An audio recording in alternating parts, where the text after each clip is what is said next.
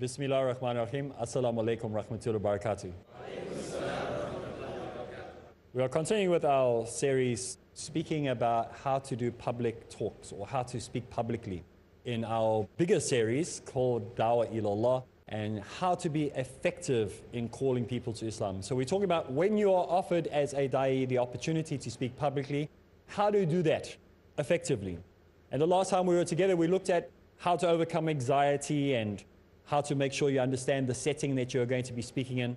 And then we started a new section about good speaking skills requires good listening skills.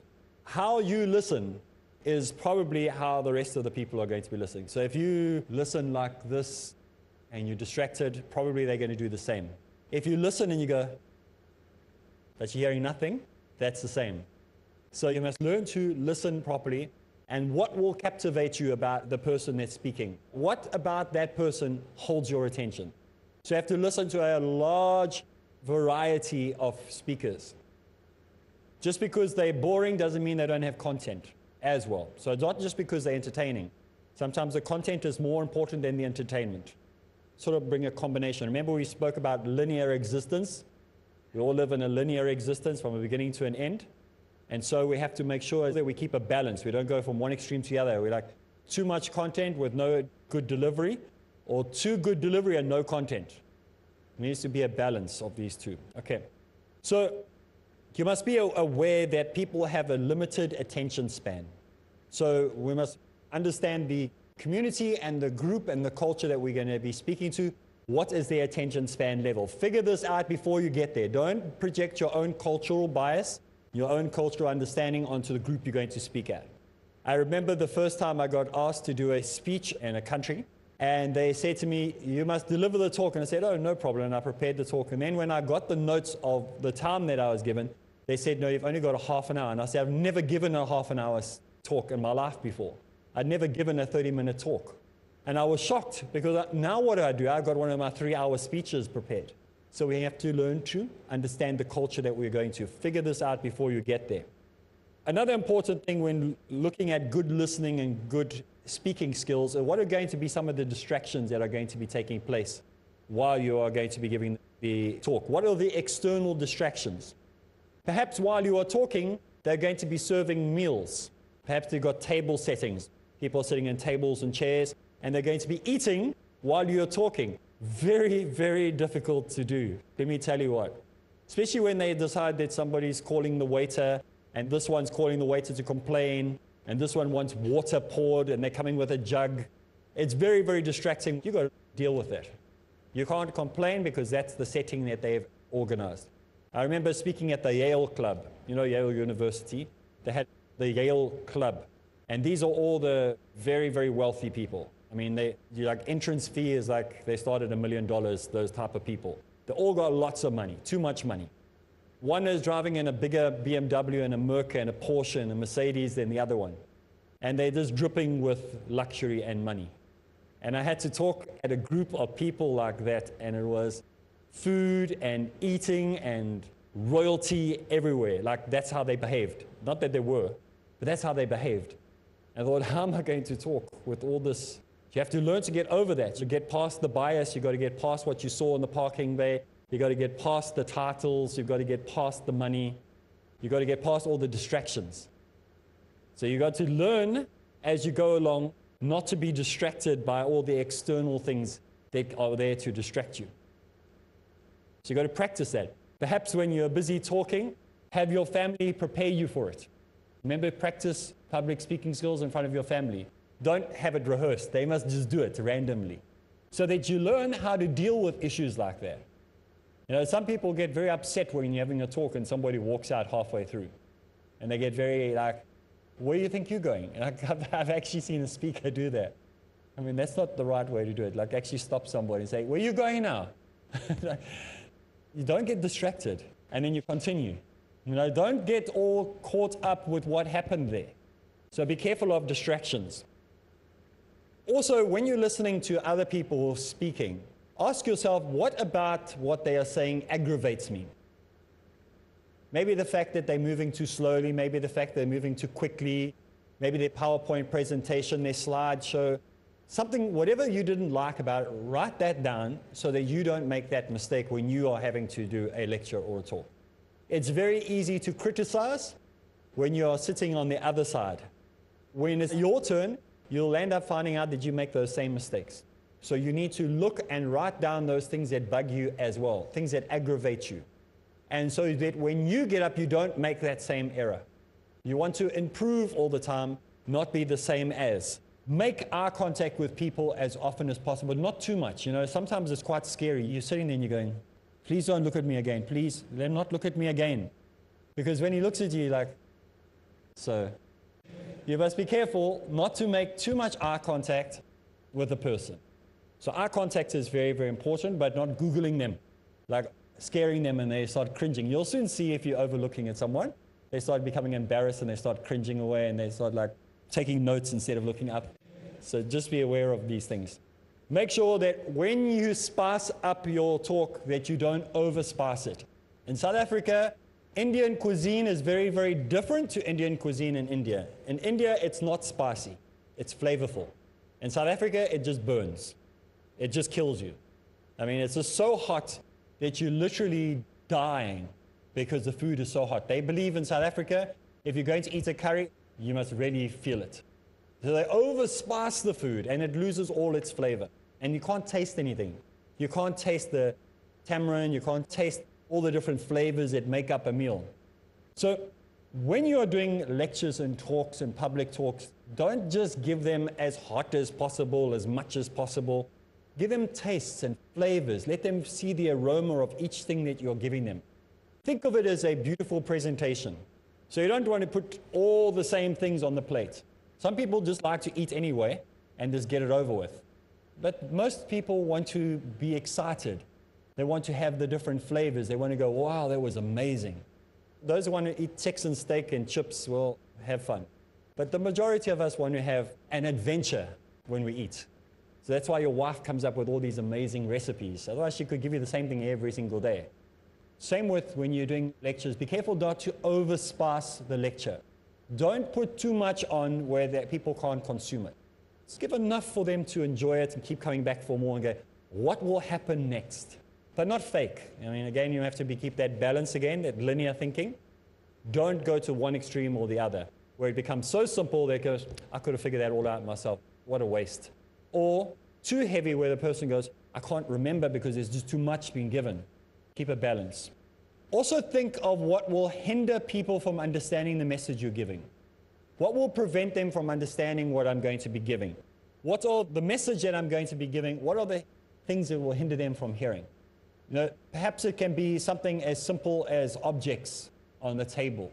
Maybe it can be the noise of the air conditioning in the building? What will hinder them hearing what I'm saying? Check to see the blank faces. The more blank faces, the more you need to go back and explain that point over and over and over again. So this is important to do. And make sure that you are pushing the right buttons on the people that you are speaking to. So that's another important point. Don't push the buttons in the wrong way where you actually upset people. So make sure you find the right things to press on to challenge people to be better. Rather encourage people and say, you know, as Muslims, this is the characteristics that we should have. And perhaps when we're doing dawah for the outsider to identify, you want to encourage them to do it. not push buttons where they get angry and upset. Even though we might know this to be true, we just got to be very gentle with people, very smart in the way we deliver our talk. Remember, you don't know where all the people are coming from, what stage they're at. Many non Muslims will get offended by the way that you present yourself if you just get into hardcore mode. You need to be gentle. So there's nothing better than going slowly into a topic and explaining it nicely when you're talking. Always double check when you're talking check back to your notes, have a look. Okay, I've dealt with that point. Did everyone seem to get it? Yes. And then you can move on to the next one. So keep looking at your notes and looking at the audience. So don't just move ahead without consulting and making sure that your audience knows what's going on. Well, talking about that, it's time for us to take a break. When we get back from the break, we'll continue, inshallah.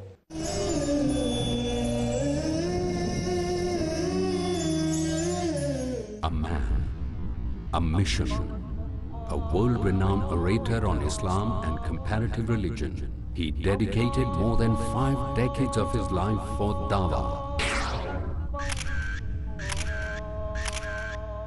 Ahmed Deedat, We Muslims believe that Jesus was the Christ. This book is an eternal book of guidance for you and for me, for the whole of mankind. It's a solution to the problems of mankind. The miracle is when you expect a man to be dead and he's alive. That's a miracle. Man with a Mission, every Monday to Thursday at 5.30 p.m. and repeat telecast at 11.30 a.m. India on Peace TV. Subhanallah, Subhanallah,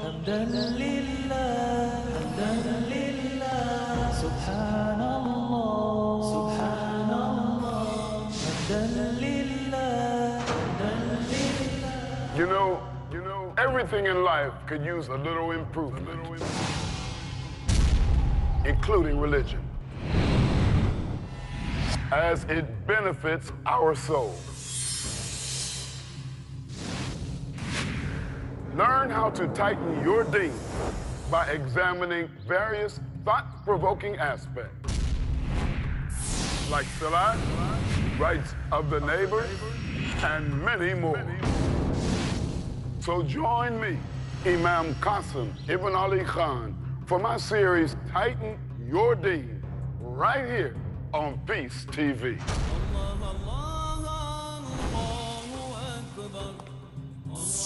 Our deen, a blessing not to be taken for granted. Our responsibility to obey Allah, the Lord of the seen and the unseen. Strengthen your relation with the Rabbul Alameen in Tighten Your Deen. Every Thursday at 7 p.m. and repeat telecast at 12 p.m. India on Peace TV. Peace TV presents over 100 million viewers at one of the largest peace conferences in the world, addressing a sea of spellbound spectators. Over 30 world-renowned orators on Islam with credentials impeccable. The truth of Islam. Deen is your way of life. It is our duty, our obligation. By following the Quran and Sunnah, We will give the message to one and all. One and all. With articulation exquisite. Read the book of Allah. Islam is the easy way, it's the simple way. Remind each other. the Muslim is not a source of harm for other people. Collaborate with the people for good. This is the call of Islam. With the mission of spreading the truth of Islam. Do what you can to spread the word of Islam. Wherever we are. Live like Muslims. Use your power. Allah is saying, why do you need anything else? This Quran is self-sufficient. The only book on the face of the globe, the Quran. How a human being should lead his life is given in this instruction manual, the glorious Quran. The glorious Quran. For peace to prevail on earth in Peacemakers. Next on Peace TV.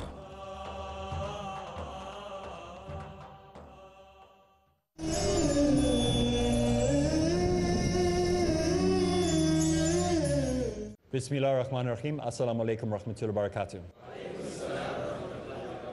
Continuing with our look at public speaking skills, what we can do to develop them. And we said that good listening and good speaking go together. So you need to develop these skills in yourself. Now we are going to talk about when we organize our speech and when we start doing our talk, how to spice up our lecture.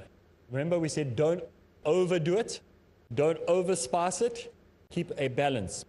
One of the ways, a simple way of spicing up your lecture without having too much masala and too much flavor in it, just keeping a nice balance, is using technology. And the simplest technology we have in front of us in today, most societies, obviously if you're talking about rural areas, maybe they don't have access to this, and that is to use a computer. Computer is your best friend. Keep your desk as simple and clean as possible. This is the joy of having a computer. This is the backup one. That's the main one. So if I really, really battle and I need to see notes quickly, this contains in-depth explanation. That just gives the point form. So have that as much as possible the most simplistic way when you're talking to the audience. You don't want to have too many things in front of you distracting them or pulling them away from what you're talking about. So you can use the old-fashioned method if you don't have computers and you don't have access to the technology. And a good way to do that is to have like one of those flip charts.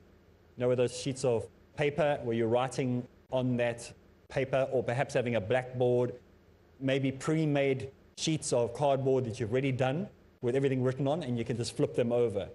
As long as you've got something that using to keep people's attention.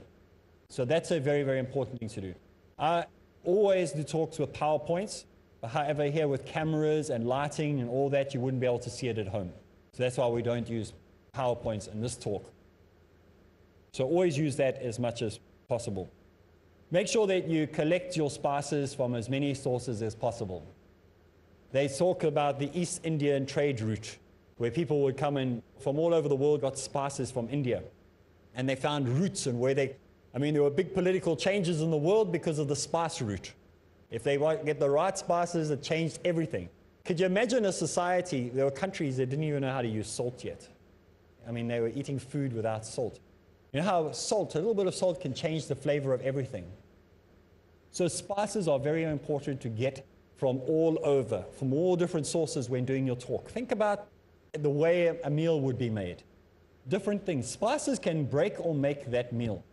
So when you're doing your talk, think about the spices, where you got them from. Take a bit of, this is an idea that I got from India. This is an idea I got from America. This is an idea I got from Japan. This is an idea I got from Russia. Bring these different flavors and spices together in your talk. Don't just talk about the geographics of the area that you're at. Refer to what you know, and what you know most is where you came from. So it's no use me talking about the politics of India or politics of Pakistan or the politics of Brazil when I'm from South Africa. We'll have too many holes in it when you talk. People go, but he, this guy doesn't know what he's talking about. So rather speak about what you do know but doesn't mean you can't bring flavors and spices in from the other countries that you visited. So you often hear me referring to America, Germany, India, Pakistan, because those are the places that I'm bringing the spices in to make it relevant. So that's a very important issue to know when you're doing public talking. So collect your spices. So that would be that point. Make sure that you are doing your homework before you land up doing your talk. Take notes of what you're going to be talking about. Go around like a researcher. A researcher doesn't just give his paper and say, well, the university hired me to do research on stem cells, and I am just going to take my biology book out from school, and that's the paper that I'm going to deliver. No, he does his research. So make sure you do your research. Become like a person who goes and tries to find information from many different sources. Make sure that you do your homework on the topic you're going to be dealing with. Just like a, somebody who's going to be delivering a paper, he will research maybe for a year or two years, do interviews, things like that. Use your personal experiences when you are talking to people, not only using other people as a reference, but also use your own personal experience. It brings people into what you're talking about. Like when I spoke to a couple of weeks ago about the car accident, where I spoke about an accident that took place twice in my life. That way, people can identify with what you're talking about. It's not just a theory, it's practical. If possible, if you're going to be doing a talk or lecture, interview people. One of the series of talks that I did for Peace TV is called The Cross Questioned. And in preparing this series called The Cross Questioned, I spoke with three professional people. One of them was Muslim, the other two weren't from different areas of life prosecutors, a high court judge, a policeman, an investigator. So you want to get ideas and thoughts back on whatever the topic is that you're going to be presenting. So you can quote these people. So this is also important to do. So if you're going to be talking about slaughtering of animals, go and speak to a person who owns an abattoir. Go and speak to someone who breeds animals. Go and speak to a doctor about what happens to blood when it congeals and it doesn't bleed out. Find out as much information on the topic as possible to be relevant from other sources, not just from Google. And when you're using this, make sure you use the internet as well. I'm not saying don't use the internet, but also speak to real life human beings that walked around so that you've got some real quotes. And then also go to the internet. Rent the wheel, rewrite the whole idea. The wheel has already been invented, so use what is already there. Use other people's information. And then the third important thing to do when regarding this is visit books. Go to a real book. So real people, real books, and the internet combined together. Don't get all your information only from the internet. Don't get all your information only from books. Don't get all your information just from hearsay. You want to have a combination of all these things. So when you say, say, this website, like you've heard me do a number of times in this series, where I'll say, go to that website, very good information. Go to this book, very good book. Go to this scholar, very good scholar. So you're not just referring to one source. It makes it look like you know what you're talking about. Inshallah, you do know what you're talking about. But it's better if you're using a variety of sources and not just one. There are many different types of speeches and talks that we can give. They're not just one type of talk. There are motivational speeches. There are persuasive speeches. There are political speeches. There are religious speeches. There are dull speeches. There are exciting speeches. So there are all different types. There's not just one. There's special occasion speeches or special events. So you have to change the way you are going to present the talk depending on what is going to be taking place. There was a group in Canada that invited me to come and do a talk. This was going to be a special focused talk to a special group of people. So it's no use me using comparative and all that type of thing. You have to focus it for whatever that topic is. When you come to do these lectures and these talks, it's a, a specific type of talk. So you have to understand that when preparing your talk, what type of lecture am I going to be giving? What type of talk? What type of series? Is it a motivational speech? Is it going to be a special occasion? Am I going to be helping persuade people? Is it a feel good? Is it a bring down? What is it going to be? So, this is important for you to understand. Next point is preparing an outline for whenever you're going to be doing a lecture or talk. That's most important. Like a storyteller who just sits down and writes a book, it'll never get published. He has to have a skeleton, he has to know where it's going to start, what the middle is going to be like, and how it's going to end. If you just write as you go along, very, very unlikely that the book is ever going to get anywhere. And even if you find a publisher silly enough to print it, no one will buy it. So it's very, very important for you to make sure that you prepare and outline properly of where you're going to go before you even have any meat to it. So this is very important. What is the target that you're wanting to hit? What is the purpose of the talk? I posted something today on the internet, and on it I wrote, What was the purpose? So, first of all, I wrote purpose, gave an explanation, target, explanation, source, explanation. So, these are things that we should make part of our habit. That when we prepare a talk, that we have a shell that we build around. So, what is your target? What is the purpose for this talk in the first place? Who are you targeting at? What are the parts of the body that of the speech that you want to have? Are they going to be five points, six points, 12 points, two points? This is important for you to do before you even start doing it. What research are you going to be using? Whose information are you going to be getting from? Will it be accepted by the vast majority of the people? What are the outlines going to be? How are you going to present the paper in front of you that you're going to use to guide you through your talk? And then, of course, how are you going to end it? The beginning and the end are just as important. If you go to a talk and you only remember the end and you don't remember the beginning, means that speech wasn't very good. You should remember the beginning just as much as you remember the end.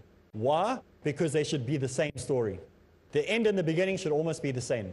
The ending should be a recap of the beginning. We've run out of time, so you're going to have to join us again. So let me recap that we have to learn as dais how to be effective speakers so that people will want to know more about Islam. So this is the purpose of why we are doing this series. Make sure you join us again. So for me, Areeb Islam, Assalamu alaikum wa rahmatullahi wa barakatuh.